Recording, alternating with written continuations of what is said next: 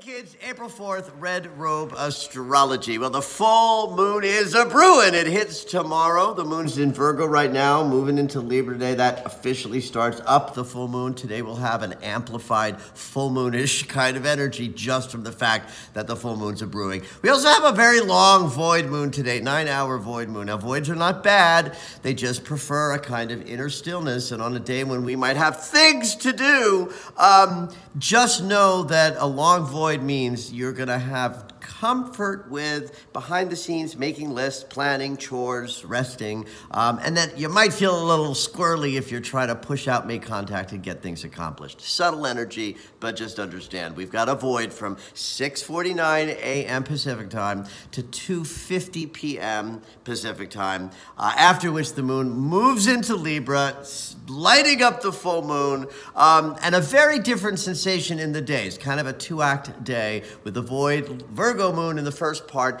And then once the moon moves into Libra, she trines Pluto, creating a kind of pleasant depth of feeling.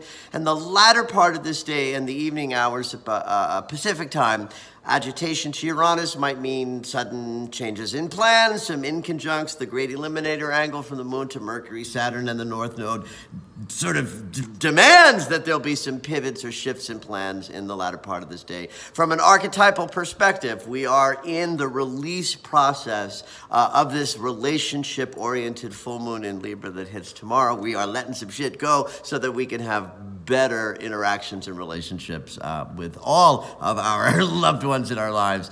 Have at this day. Get ready for a big full moon.